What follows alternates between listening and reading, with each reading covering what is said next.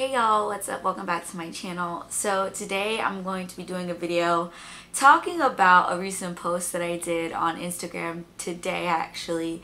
Um, it's kind of a weird like feeling um, to talk about kind of like the things that I've gone through the last few years because it's kind of weird that I really don't think about it a lot anymore. Um, but basically I posted this picture and I'll post it here for you guys uh, I posted that picture on Instagram and I talked about like how yeah I was super skinny and my hair was so long but like the background of what was happening in my life at that time was like just terrible. Um I wrote about how I could barely make rent. The reason why I was so skinny because it was because I wasn't eating. Um and not in like a you know, like a uh, like an anorexic type way. No, I'm talking about like you know, eating maybe once or twice a day because I couldn't afford to eat any more than that. Um, I also talked about how I just got out of a breakup, a really, really tough breakup in that picture.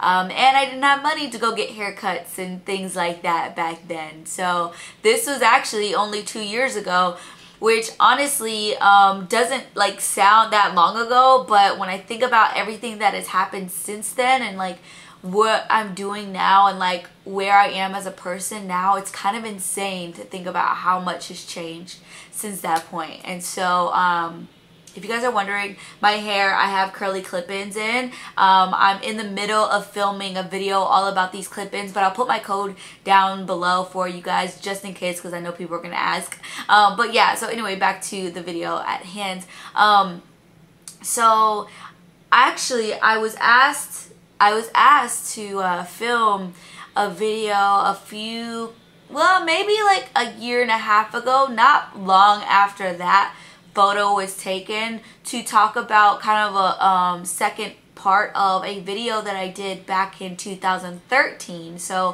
fall 2013, I was, um, I had just graduated from college and I had recorded this video that is still on my channel now. I'll link it here for you guys so you can like go watch that and if you want to like pause this video to go watch that video in order to kind of like get caught up in things then feel free. I'll be right here.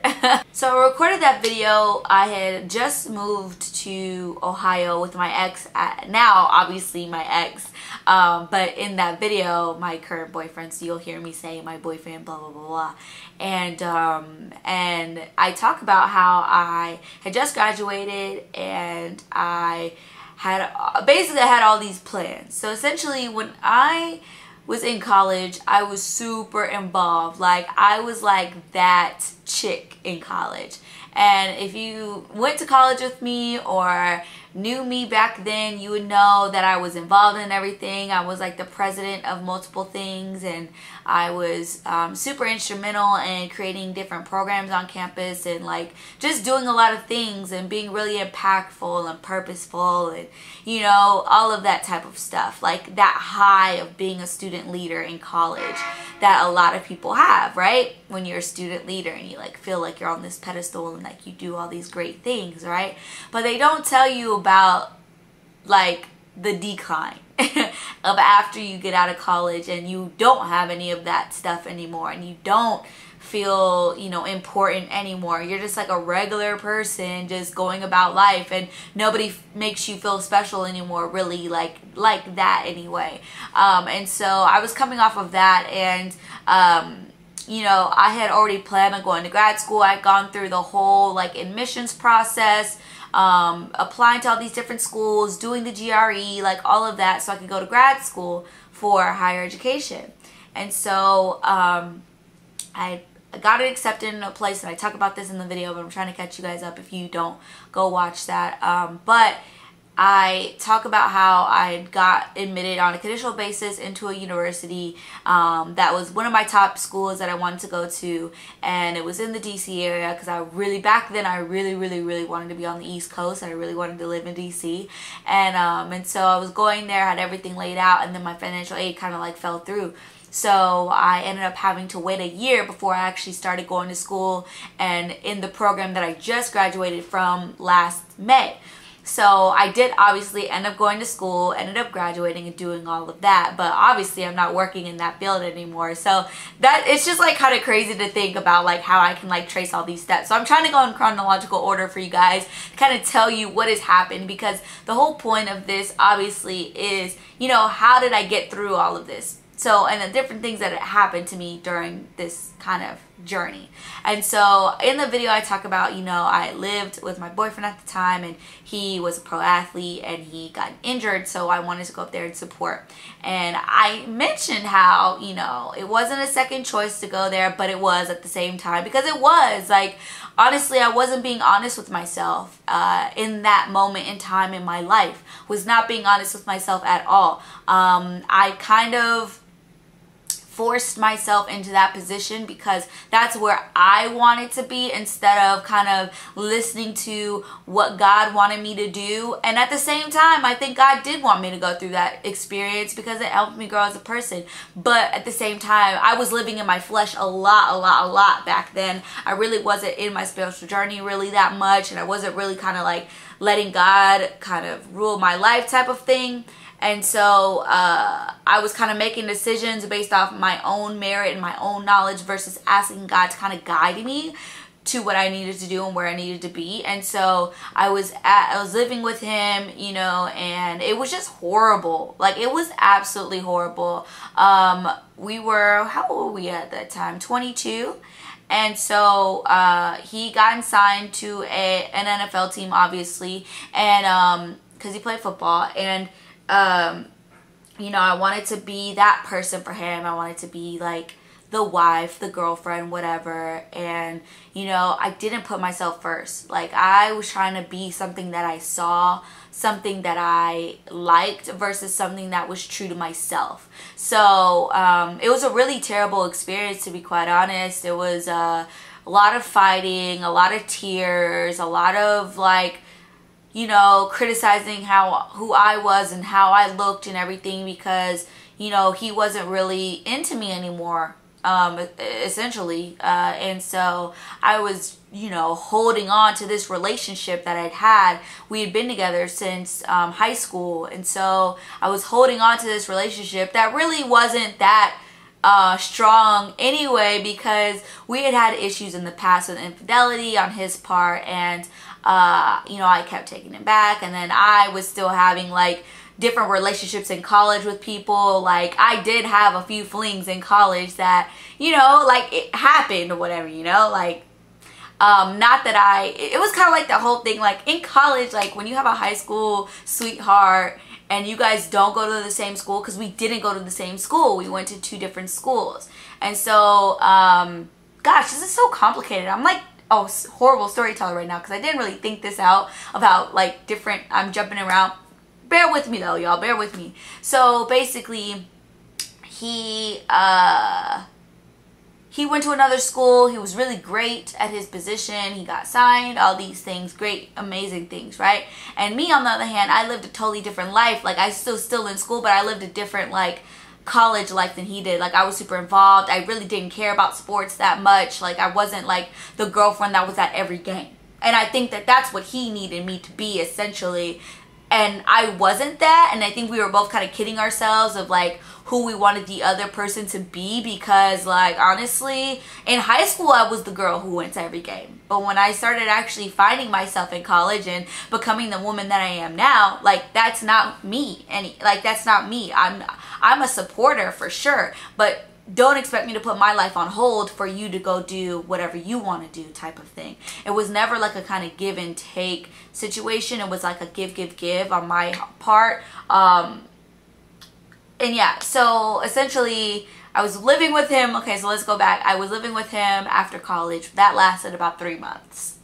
So uh, that point, I had gotten a job at Ulta, which in the video I was so excited about. And that's one thing I wanted to point out is that like through all the struggle times of my life, like I'll find like the smallest thing to be happy about and I will just focus on that to make myself feel better. Because honestly, I was so excited about working at Ulta. But if you think about it, I had a boyfriend that was making millions and I won't say that like he had the millions right there like yeah okay he had a multi-million dollar contract okay And I don't know if he's gonna be upset that I'm giving out all this information, but if he is, like, I'm sorry, but this is that this is like my story too type of thing. But at the same time, I'm not. I don't know. Should I be apologetic? Should I not be apologetic? I don't know. We'll see. I don't know. Anyway, um, but I doubt he'll even see this. So, um, so yeah. So, but he was kind of like providing like, you know, a roof over my head and food essentially. But you know, I'm not even gonna go. I'm not even gonna go there because I don't even want to like open that up because that's just another situation. Basically, okay, y'all, basically just wasn't a good situation. I was working a part-time job just to have money to spend, like just for like me to have something. So basically what happened, the kind of like the breakup was I came to Texas for homecoming, right? And I flew out here and we had had a big fight before I left and uh, left on really bad terms.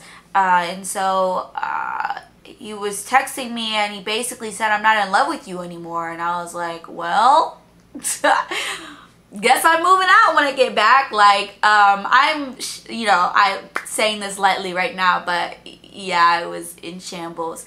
Um, Because um, mind you, I thought I was going to marry this person. I had been with him for so many years. Uh, even though we were on and off at times, he was always like above everybody else, essentially. Like, if he called, I was like, okay, what do you need? I'm running, like, what, what, what, um, type of thing, no matter what I was doing. And so, um, when that relationship ended, I moved back to Texas. At the time, I had spent all of my little coins that I earned at Ulta to move back, to ship all my stuff back, to ship my car and everything. And um, he actually paid for my car to get shipped, I will say that. So I was appreciative of that. But, you know, um, it was kind of like a surreal thing because we had grown up together essentially from like high school to college. And I remember when he dropped me off at the airport, um, he like gave me like a half hug and said, see you later. And in my mind, I'm like crying. I'm just completely in shambles and um, just, just over the top, like just like completely just a mess. And I just couldn't believe that he like just said, see you later. He just said, see you later. It was just so like, heartless. So anyway, get on the plane. I moved back to Texas. I don't have a place to stay at the time. I could have gone back to my parents, but I was like, no, I can't be at my parents' house. Like that's just too much. That's too much for me to do. I'm so independent. Like I couldn't do that. And, and I knew that I needed to be around my friends. I needed to be around my support system in that way. So um, I went and lived with my sister. Um, I stayed on her couch for a couple months, and then uh, and that was interesting um, and then we got into our own place where she was like covering most of the rent. This is what I, you know, talked about like only being able to afford like $400 a month. I wasn't living in a place that only cost $400. Um, some of y'all were like, where you pay $400 rent at? No, I wasn't. No, it was a, my sister was taking a bulk of the expenses and like only only letting me pay 400 because she knew that was all I could afford barely okay? And so um, every day was a freaking struggle but at the same time you know I would look at the little things like I said the little things like nothing bad happened today so that's a good thing right? Like the fact that nothing bad happened is a good thing so I would like think about that or I would um I would really take pride in my job. So when I was working retail at the time, because I couldn't get a job anywhere else, um, I would really, I really took pride in my job. I really took pride in selling clothes, you know, and um, really fell in love with just dressing up and kind of tapping back into my love for beauty because when I was working at Ulta, that's when I started really learning about a lot of brands because I would literally walk around the store reading all the back of the labels and um, looking at all the different brands that were available, like just like looking at the inventory and seeing what was out there and testing little things out and stuff. So that's where I really got all of my knowledge as far as like different brands, what, what different ingredients do and stuff like that and how branding works kind of thing because I literally like surrounded myself with it. So um, I was kind of tapping into like my beauty stuff because I kind of was having this revelation without even realizing it that I wanted to be in the beauty space but the way my life was set up, I, I couldn't see it at that time what was going on. I was still kind of on this mode of I'm going to grad school, I'm going to work in education, which obviously I stuck in that mindset for the next two years while I was in my grad program. And so um, I'm living the, in Texas, I'm working. Um, uh, I also went through a phase of going out a lot. Uh, I used to, I was going to the club a lot um, because I really didn't have anything else to do. Uh, drinking a lot, to be quite honest. Um, obviously, going to the club, you drink kind of thing. And nothing like bad to the point where like I was like an alcoholic, but it was a lot. Like I was just drinking multiple times a week. Um, and I was definitely kind of like getting drunk and then being super super emotional and just like because I was heartbroken.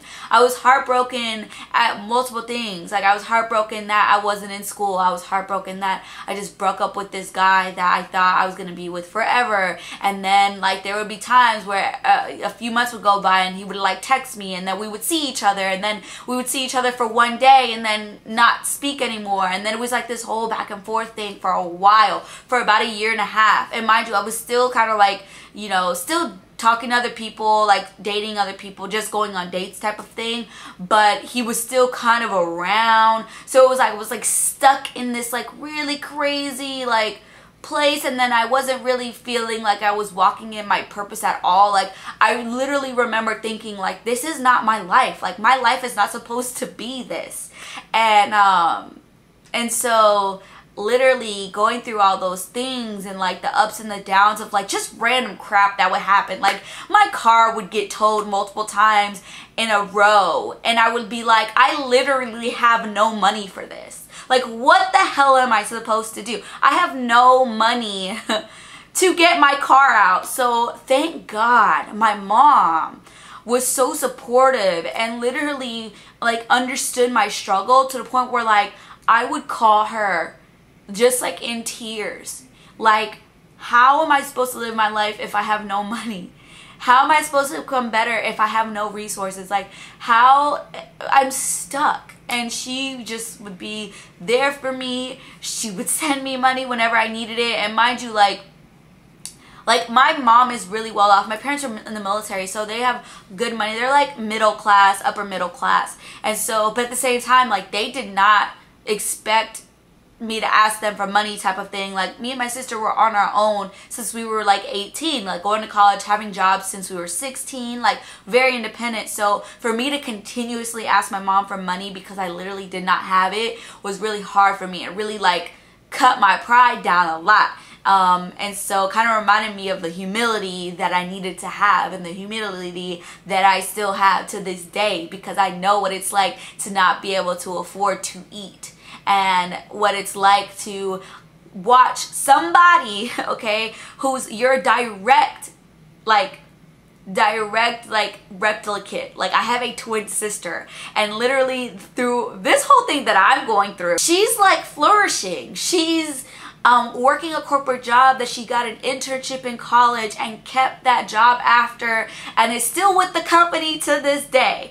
Uh, so she literally was so stable and so safe and and all of that. And I on the other hand was the complete opposite. Like I was like maxing credit cards out.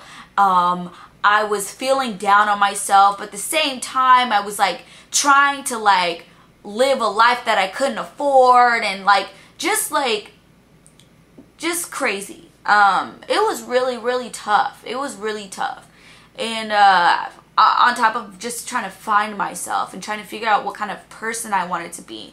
So ways that I coped. Um, I started writing. I was I was journaling all the time, and I read some of my journals a few months ago actually and it's just crazy like the things that I was going through mentally um, but writing it out was so therapeutic for me. I also would write down my prayers. Like that was when I really tapped back into my walk with God for sure because I literally I was like what else am I supposed to do? Like what else am I supposed to do but lean on God at this point in my life so I started doing Bible study with my line sisters and some of my sorority sisters. I was uh, we would do prayer calls and I was writing down my prayers and really kind of trying to develop that really close relationship with God. And I didn't want it to be something that was like everybody else. Like I wanted my own individual relationship with God and have my own set of faith and beliefs and all that kind of stuff. And you know, I, I started going to church a lot again and all these things. And um, so honestly, that was a huge part too. It's like when you're down to nothing, like you have to have faith because that is literally the only thing that's going to get you through. Like no nobody else can solve your problems. Nobody else can make you feel better. Nobody else can humanly do anything to make your life better but yourself. Like you have to choose to do better. You have to choose to have faith in something. You have to choose to know that like you're not alone in life and that God is there with you more than any other human being can ever be there for you. So when I started understanding and truly believing that I wasn't alone in life and that God was was doing this for a reason. Like I believed I was like, God, I know like I'm struggling right now. And, and this period kind of lasted about a year and a half or so.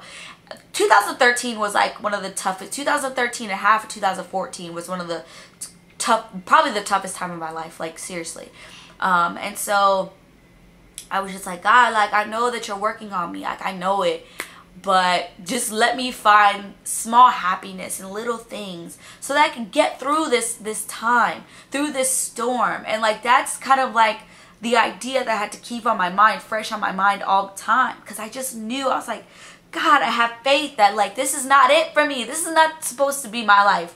And so I kept working and when it was time to reapply for grad school, like I was on it. Like I was like, you know what? I'm going to get into school. Like this is this is my way out of this situation right now is to get in school.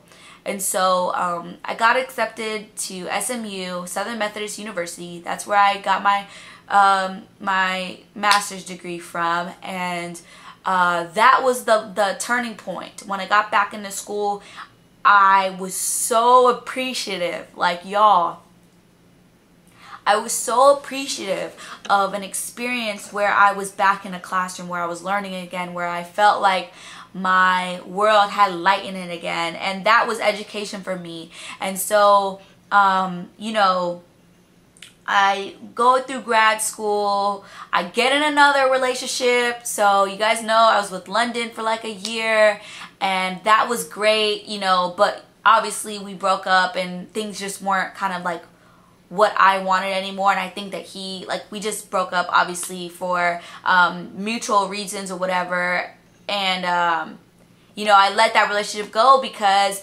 of all the time that I had spent going back and forth with my ex and um, this turned into a relationship video, low-key. I just knew, like, when I was checked out of my relationship with London, like, I was checked out and I was like, you know what, I'm done.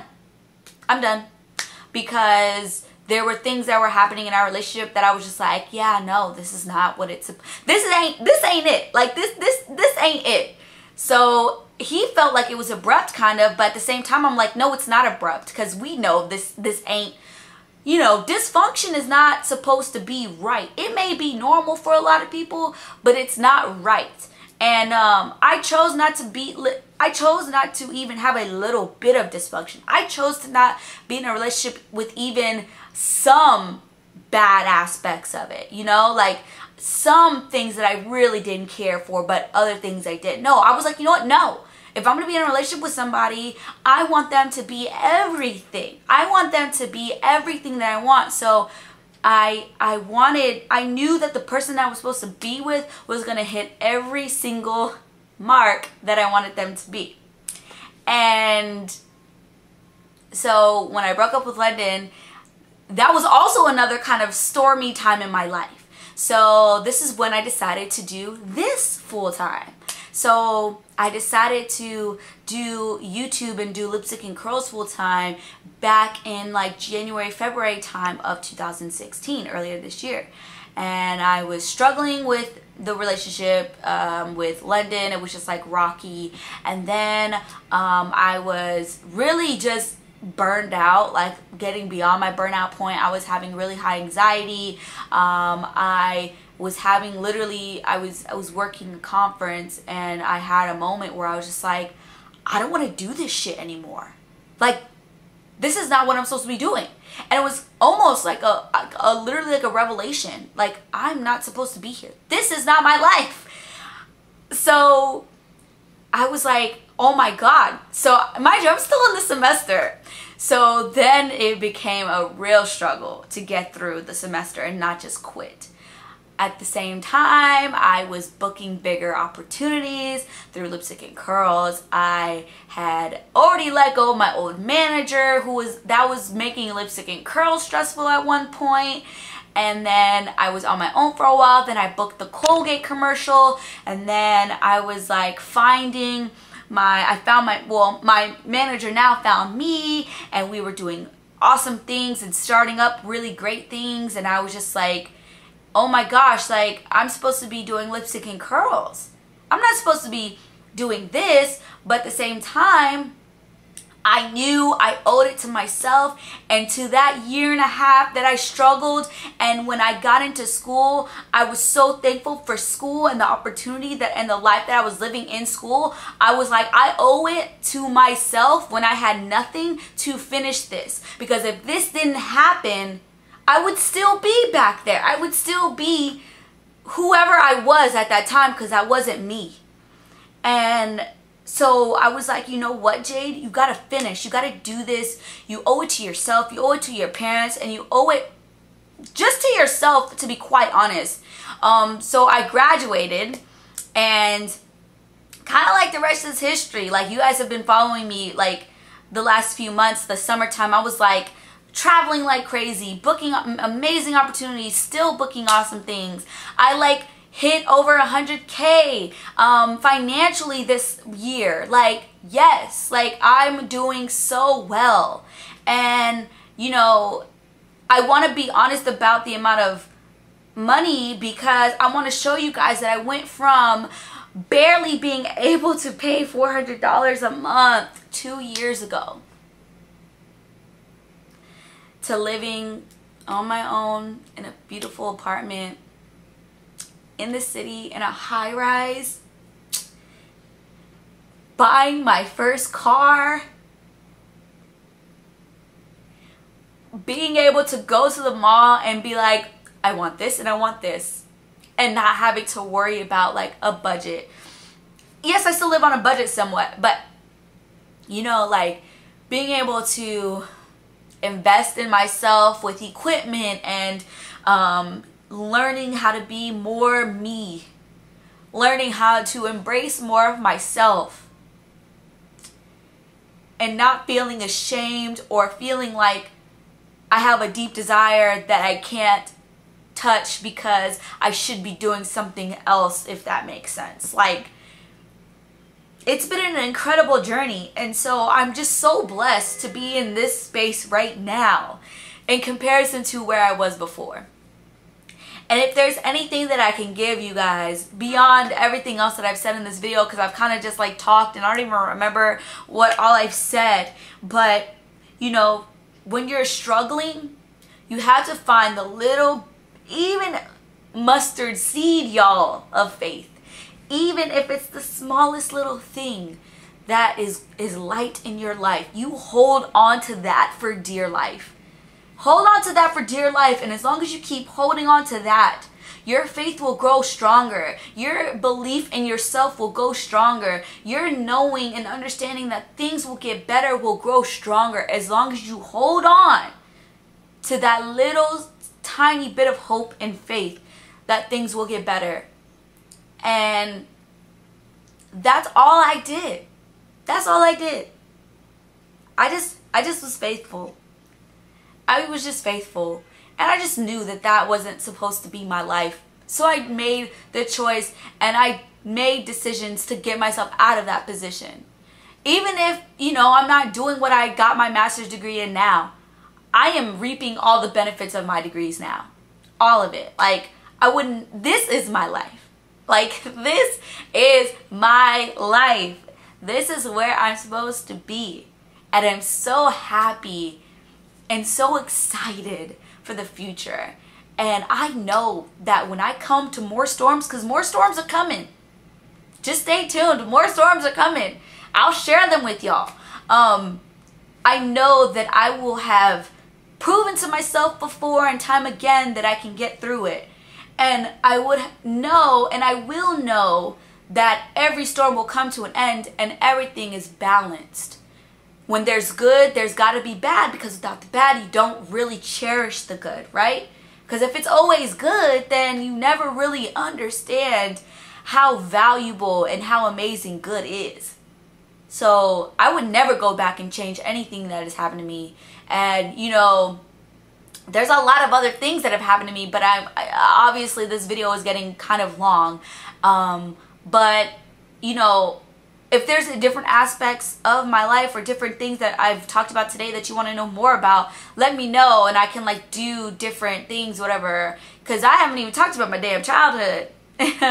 um, and things that I went through back then. So let me know if you guys want to know more. But um, I felt like I should share because you guys, I got an overwhelming amount of people um, commenting and engaging with me on that post. So I figured I would do a little bit more in depth on my channel. So I hope you guys enjoyed this and um, take care of yourselves. You know, if you're going through something right now, know that like it'll get better. Promise.